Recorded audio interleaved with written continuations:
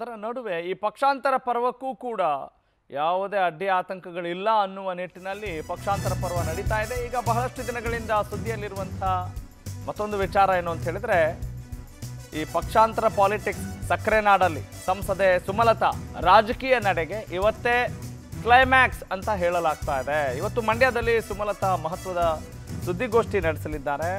BJP ಸೇರ್ಪಡೆ ಬಗ್ಗೆ ಅಧಿಕೃತವಾಗಿ ಇವತ್ತು ಘೋಷಣೆ ಮಾಡೋ ಸಾಧ್ಯತೆ ನೆಚ್ಚಳವಾಗಿದೆ ಅನ್ನೋದು ಸದ್ಯದ ಸಮಾಚಾರ. ಹಾಗಾಗಿ ಸುಮಲತಾ ಸುದ್ದಿಗೋಷ್ಠಿ ತೀವ್ರ ಕುತೂಹಲವನ್ನು ಮೂಡಿಸಿದೆ. ಸುಮಲತಾ ಬಿಜೆಪಿ ಸೇರೋಕೆ ಆಪ್ತ ಬಳಗದಿಂದಲೂ ಕೂಡ ಹಸಿರು ನಿಶಾನೆ ಸಿಕ್ಕಿದೆ.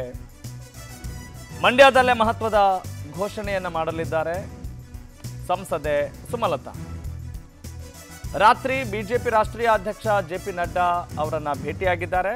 ಸಂಸದ ಸುಮಲತಾ ಬೆಂಗಳೂರಿನ ಖಾಸಗಿ ಹೋಟೆಲ್ನಲ್ಲಿ ಮಹತ್ವದ ಮಾತುಕತೆ ನಡೆದಿದೆ ಎನ್ನಲಾಗಿದೆ.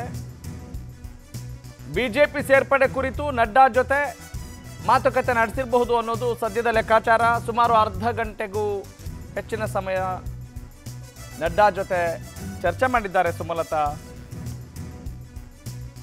ಹಾಗಾಗಿ ಅಧಿಕೃತವಾಗಿ ಇವತ್ತು ಬಿ ಜೆ ಪಿ ಸೇರ್ಪಡೆ ಬಗ್ಗೆ ಘೋಷಣೆ ಮಾಡೋ ಸಾಧ್ಯತೆಗಳು ನಿಚ್ಚಳವಾಗಿದ್ದಾವೆ. ಈಗಾಗಲೇ ಭಾರತೀಯ ಜನತಾ ಪಕ್ಷದ ಅನೇಕ ನಾಯಕರನ್ನು ಕೂಡ ಭೇಟಿಯಾಗಿದ್ದಾರೆ. ಸುಮಲತಾ ಅವರಿಗೆ ಬೇಡಿಕೆ ಇತ್ತು ಭಾರತೀಯ ಜನತಾ ಪಕ್ಷಕ್ಕೆ ಬನ್ನಿ ಅಂತ ಹೇಳಿ. ಹೀಗಾಗಿ ಇವತ್ತು ಏನು ಘೋಷಣೆ ಮಾಡ್ತಾರೆ, ಏನು ಮಾತನಾಡ್ತಾರೆ ಅನ್ನೋ ಕುತೂಹಲ ಸಹಜವಾಗಿ ಗರಿಗೆದರಿದೆ. ಎಲ್ಲ ವಿಚಾರಕ್ಕೆ ಸಂಬಂಧಪಟ್ಟ ಹಾಗೆ ಮತ್ತಷ್ಟು ಅಪ್ಡೇಟ್ಸ್ ಆ್ಯಂಡ್ ಅನಾಲಿಸಿಸ್ ನೀಡ್ತಾರೆ ನನ್ನ ಸಹೋದ್ಯೋಗಿ Suresh. Suresh very good morning ಸಕ್ಕರೆ ನಾಡು ಸಂಸದೆ ಸುಮಲತಾ, ಪಕ್ಷಾಂತರ ಪರ್ವ ಬಿ ಜೆ ಪಿ ಸೇರ್ತಾರಾ, ಸೇರಲ್ವಾ? ಅನೇಕ ವಿಚಾರಗಳು ಇಲ್ಲಿವರೆಗೂ ಕೂಡ ಗಿರ್ಕಿ ಹೊಡಿತಾನೇ ಇದ್ದಾವೆ. ಇವತ್ತು ಸುಮಲತಾ ನಡೆಸಲಿರುವ ಈ ಒಂದು ಸುದ್ದಿಗೋಷ್ಠಿ ಎಷ್ಟು ಮಹತ್ವ ಪಡೆದುಕೊಂಡಿದೆ? ಯಾವ ರೀತಿ ಕ್ಯೂರಿಯಾಸಿಟಿ ಮೂಡಿಸಿದೆ?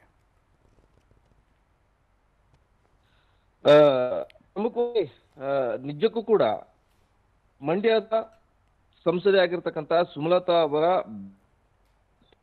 ನಗರದಲ್ಲಿ ಪತ್ರಿಕಾಗೋಷ್ಠಿಯನ್ನು ಕರೆದಿದ್ದಾರೆ. ಈ ಪತ್ರಿಕಾಗೋಷ್ಠಿಯ ಮೂಲಕ ಮೂಲತಃ ಅವರ ನಿರ್ಧಾರ ಪ್ರಕಟವಾಗುತ್ತಾ ಅನ್ನೋ ಸಾಕಷ್ಟು ಯಾಕಂದ್ರೆ ನಿಖಿಲ್ ಕುಮಾರಸ್ವಾಮಿ ಅವರನ್ನ ಸೋಲಿಸಿ ಅದು ಪಕ್ಷವಾಗಿ ಸ್ಪರ್ಧಿ ಸುರೇಶ್ ಮುಂದಿನ ಹಂತದಲ್ಲಿ ಸಂಪರ್ಕ ಮಾಡೋಣ. ಸರಿಯಾಗಿ ಕೇಳಿಸ್ತಾ ಇಲ್ಲ. ಓಕೆ, ಈಗ ಮಂಡ್ಯದ ಲೋಕಸಭಾ ಚುನಾವಣೆ ಯಾವ ರೀತಿ ಇತ್ತು?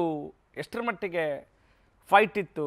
ಎಷ್ಟರ ಮಟ್ಟಿಗೆ ಜಿದ್ದಾಜಿದ್ದಿನ ಒಂದು ರಾಜಕಾರಣ ಅಲ್ಲಿತ್ತು ಅನ್ನೋದನ್ನು ಈಗಾಗಲೇ ರಾಜ್ಯದ ಜನತೆ ನೋಡಿದ್ದಾರೆ. ಒಂದು ರೀತಿ ಹೈಲೈಟ್ ಆಗಿತ್ತು. ಯಾರು ಗೆಲ್ತಾರೆ, ಯಾರು ಸೋಲ್ತಾರೆ, ಯಾರನ್ನ ಗೆಲ್ಲಿಸ್ತಾರೆ, ಯಾರನ್ನ ಸೋಲಿಸ್ತಾರೆ, ಜನ ಯಾರ ಪರವಾಗಿದ್ದಾರೆ, ಜನಪ್ರತಿನಿಧಿಗಳು ಯಾರು ಪರವಾಗಿದ್ದಾರೆ, ಅದರಲ್ಲೂ ಸಮ್ಮಿಶ್ರ ಸರ್ಕಾರದ ಅವಧಿಯಲ್ಲಿ ಎಂ ಪಿ ಎಲೆಕ್ಷನ್ ನಡೆದಾಗ ಕಾಂಗ್ರೆಸ್ನವ್ರು ಯಾರಿಗೆ ಸಪೋರ್ಟ್ ಮಾಡಿದರು ಬಿ ಜೆ ಪಿಯವ್ರು ಯಾರಿಗೆ ಸಪೋರ್ಟ್ ಮಾಡಿದರು ಜೆ ಡಿ ಎಸ್ನವ್ರು ಯಾರಿಗೆ ಸಪೋರ್ಟ್ ಮಾಡಿದರು, ಬಹಳ ಬಹಳ ರೋಚಕವಾದಂಥ ಕದನ ಕುತೂಹಲವನ್ನು ಮೂಡಿಸಿತ್ತು ಮಂಡ್ಯದ ಲೋಕಸಭಾ ಚುನಾವಣೆ, ಸುಮಲತಾ ವರ್ಸಸ್ ನಿಖಿಲ್ ಕುಮಾರಸ್ವಾಮಿ. ಅಲ್ಲಿ ಒಂದು ರೀತಿ ಮನರಂಜನೆ, ಮನೋವಿಕಾಸ, ರಾಜಕೀಯ ಎಲ್ಲವೂ ಕೂಡ ಬಹಳ ಬಹಳ ಸಂಚಲನವನ್ನು ಮೂಡಿಸಿದ್ವು. ಈಗ ನನ್ನ ಸಹೋದ್ಯೋಗಿ ಸುರೇಶ್ ಫೋನೋ ಕನೆಕ್ಟ್ ಆಗಿದ್ದಾರೆ. ಎಸ್ ಸುರೇಶ್ ಕುಡಿ ಗೋ ಹೆಡ್ ಮುಂದುವರಿಸಿ. ರಾಘವ್ ಸೂರ್ಯ ಇವತ್ತು ಹತ್ತು ಗಂಟೆಗೆ ಸುದ್ದಿಗೋಷ್ಠಿ ಸುದ್ದಿಗೋಷ್ಠಿಯನ್ನು ನಡೆಸಲಿದ್ದಾರೆ. ಸುಮಲತಾ ಅವರು ಏನು ಮಂಡ್ಯದ ಚಾಮುಂಡೇಶ್ವರಿ ನಗರದ ಅವರ ನಿವಾಸದಲ್ಲಿ ಒಂದು ಸುದ್ದಿಗೋಷ್ಠಿ ನಡೆಯಲಿದೆ. ಪ್ರಮುಖವಾಗಿ ನಿನ್ನೆಷ್ಟೇ ಇವರು ಪುಟ್ಟರಾಜ್ ಅವರು ಹೇಳಿದ್ರು. ನಾಳೆ ಅಧಿಕೃತವಾಗಿ ಸುಮಲತಾ ಅವರು ಬಿಜೆಪಿಗೆ ಸೇರ್ಪಡೆ ಆಗ್ತಾರೆ ಅಂತ. ಮೋದಿ ಕಾರ್ಯಕ್ರಮದಲ್ಲೂ ಕೂಡ ಅವರು ಸೇರ್ಪಡೆ ಆಗುವಂತ ವೇದಿಕೆ ಆ, ನಿರ್ಮಾ ಏನು ಸಜ್ಜಾಗಿತ್ತು. ಆದ್ರೆ ಅದು ಸರ್ಕಾರಿ ಕಾರ್ಯಕ್ರಮ ಆಗಿರೋದ್ರಿಂದ ಅಲ್ಲಿ ಪಕ್ಷ ಸೇರ್ಪಡೆಗೆ ಸಾಧ್ಯ ಇಲ್ಲ ಅನ್ನೋ ಒಂದು ಸಂದೇಶವನ್ನ ಹೈಕಮಾಂಡ್ ನಾಯಕರು ರವಾನೆ ಮಾಡಿದ್ದಾರೆ. ಹೀಗಾಗಿ ಪಕ್ಷ ಸೇರ್ಪಡೆಯ ಬಗ್ಗೆ ನಾಳೆ ಅಂತಿಮ ನಿರ್ಧಾರವನ್ನು ಮಾಡ್ತಾರೆ. ನಾಳೆನೇ ಅವರು ಸೇರ್ಕೊಳ್ತಾರೆ ಅಂತೇಳಿ ಪುಟ್ಟರಾಜ್ ಅವರು ಹೇಳಿದ್ರು. ಜೊತೆಗೆ ಸಿಎಂ ಬೊಮ್ಮಾಯಿ ಅವರು ಕೂಡ ಇದಕ್ಕೆ ಸ್ಪಷ್ಟೀಕರಣವನ್ನ ನೀಡಿದ್ರು. ಸುಮಲತಾ ಅವರು ಪಕ್ಷಕ್ಕೆ ಬರುವಂತಹ ವಿಚಾರವನ್ನ ಕೂಡ ಖಾತ್ರಿಪಡಿಸಿದ್ರು. ಈಗ ಸುಮಲತಾ ಅವರ ಕರೆದಿರ್ತಕ್ಕಂತ ಸುದ್ದಿಗೋಷ್ಠಿ ಸಾಕಷ್ಟು ಕುತೂಹಲವನ್ನು ಮೂಡಿಸಿದೆ ಸುಮಲತಾ ಅವರು ಬಿಜೆಪಿ ಸೇರ್ಪಡೆ ಬಗ್ಗೆ ಅಧಿಕೃತವಾಗಿ ಸುಮಲತಾ ಅವರು ಮಾಹಿತಿನ ಹೊರಹಾಕ್ತಿದ್ದಾರೆ ಅನ್ನೋ ಒಂದು ಮಾಹಿತಿ ಲಭ್ಯ ಆಗ್ತದೆ ಮಡಿಕೇರಿಯ ಇದು ಆಗ್ತಾ ಇದ್ದೀನಿ. ಈಗ ಲೋಕಸಭಾ ಚುನಾವಣೆಯಲ್ಲಿ ಇವರನ್ನ ಸಂಸದೆಯಾಗಿ ಆಯ್ಕೆ ಮಾಡೋ ನಿಟ್ಟಿನಲ್ಲಿ ಜನರ ಪಾತ್ರ ಬಹಳ ದೊಡ್ಡದಾಗಿತ್ತು. ಅದರಲ್ಲಿ ಯಾವ ಅನುಮಾನ ಇಲ್ಲ. ಆದರೆ ಡೈರೆಕ್ಟಾಗಿ ಇಂಡೈರೆಕ್ಟಾಗಿ ಎಲ್ಲ ಪಕ್ಷದ ಕಾರ್ಯಕರ್ತರು, ಪಕ್ಷದ ನಾಯಕರು ಕೂಡ ಸಪೋರ್ಟ್ ಮಾಡಿದ್ದಾಗ ಈಗ ಸುಮಲತಾ ಯಾವ ಆಧಾರದ ಮೇಲೆ ಭಾರತೀಯ ಜನತಾ ಪಕ್ಷ ಸೇರ್ಪಡೆ ಆಗಬಹುದು? ಯಾಕೆ ಅವರು ಈ ಒಂದು ನಿರ್ಧಾರಕ್ಕೆ ಬರ್ತಾ ಇದ್ದಾರೆ? ಅಲ್ಲಿರುವಂಥ ಅಡೆತಡೆಗಳೇನು ಅಥವಾ ಇವರ ಬೇಡಿಕೆಗಳೇನು ಅಥವಾ ಮುಂದಿನ ದೂರದ ಆಲೋಚನೆಗಳೇನು ಅಂತ ಹೇಳ್ತೀರಿ? ರಾಘವ್ ಸೂರ್ಯ ಪಕ್ಷೇತರವಾಗಿ ಸ್ಪ- ಸ್ಪರ್ಧೆ ಮಾಡಿ ಗೆದ್ದ ಬಳಿಕ ಅವರು ಹೆಚ್ಚಿನ ಅನುದಾನವನ್ನ ತಡೋದಕ್ಕೆ ಅವರು ಬ್ಯಾಕ್ ಸಪೋರ್ಟ್ ಆಗಿ ಒಂದು ಪಕ್ಷ ಇರಲೇಬೇಕು. ಸುಮಲತಾ ಅವರಿಗೆ ಯಾವುದು ಇರಲಿಲ್ಲ. ಅಂದ್ರೆ ಬ್ಯಾಕ್ ಸಪೋರ್ಟ್ ಆಗಿ ಒಂದು ಪಕ್ಷ, ಪಕ್ಷದ ನಾಯಕರು ಬೆನ್ನಿಗೆ ನಿಂತಿದ್ದಾರೆ. ಬೆನ್ನಿಗೆ ನಿಂತಿದ್ದಾರೆ ಅಂದ್ರೆ ಅವ್ರ ಬಗ್ಗೆ ಮಾತನಾಡೋಲ್ಲ.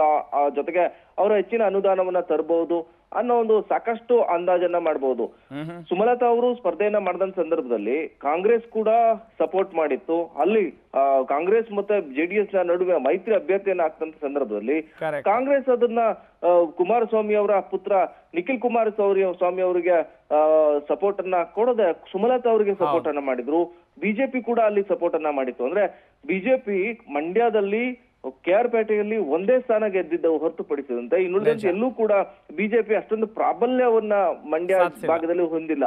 ಈಗ ಈ ಬಿಜೆಪಿ ನಾಯಕರು ಉರಿಗೌಡ ನಂಜೇಗೌಡ ಅನ್ನೋ ಹೆಸರನ್ನ ಹೇಳ್ಕೊಂಡು ಜೆಡಿಎಸ್ನ ಭದ್ರಕೋಟೆಯನ್ನ ಪ್ರವೇಶ ಮಾಡಿರತಕ್ಕಂತಹ ಸಂದರ್ಭದಲ್ಲಿ ಸುಮಲತಾ ಅವರನ್ನ ಪಕ್ಷಕ್ಕೆ ಕರೆದುಕೊಂಡು ಬಂದ್ರೆ ಈ ಮಂಡ್ಯದಲ್ಲಿ ನಾವು ಹೆಚ್ಚಿನ ಸ್ಥಾನವನ್ನ ಗೆಲ್ಲಬಹುದು ಮಂಡ್ಯದಲ್ಲೂ ಕೂಡ ಮಂಡ್ಯ ನಗರದಲ್ಲೂ ಕೂಡ ಮಂಡ್ಯ ವಿಧಾನಸಭಾ ಕ್ಷೇತ್ರದಲ್ಲಿ ಸುಮಲತಾ ಅವರಿಗೆ ಟಿಕೆಟ್ ಅನ್ನ ಕೊಟ್ರೆ ಅಲ್ಲಿ ಒಂದು ಸ್ಥಾನ ಮತ್ತೆ ಕ್ಯಾರ್ಪೇಟೆಯಲ್ಲಿ ಒಂದು ಸ್ಥಾನ ಗೆಲ್ಲಿಸಬಹುದು ಮಂಡ್ಯ ವಿಧಾನಸಭಾ ಕ್ಷೇತ್ರದ ಏಳು ಸ್ಥಾನಗಳಲ್ಲಿ ಅಟ್ಲೀಸ್ಟ್ ಒಂದು ನಾಲ್ಕು ಸ್ಥಾನವನ್ನಾದ್ರೂ ಗೆಲ್ಲಬಹುದು ಅನ್ನೋ ಒಂದು ಪ್ಲಾನ್ನಲ್ಲಿ ಈ ಬಿಜೆಪಿ ನಾಯಕರಿದ್ದಾರೆ ಹೀಗಾಗಿ ಸುಮಲತಾ ಅವರಿಗೆ ಗಾಳ ಆಗಿರುವಂತ ಮಾತು ಕೇಳಿ ಬಂದಿರತಕ್ಕಂಥ ಬಹಳಷ್ಟು ನಿರೀಕ್ಷೆಗಳನ್ನ ಕುತೂಹಲವನ್ನ ಇನ್ನೂ ಕೂಡ ಈ ವಿಚಾರ ಮೂಡಿಸ್ತಾ ಇದೆ. ಅದರಲ್ಲಿ ಯಾವ ಅನುಮಾನ ಇಲ್ಲ. Thank you Suresh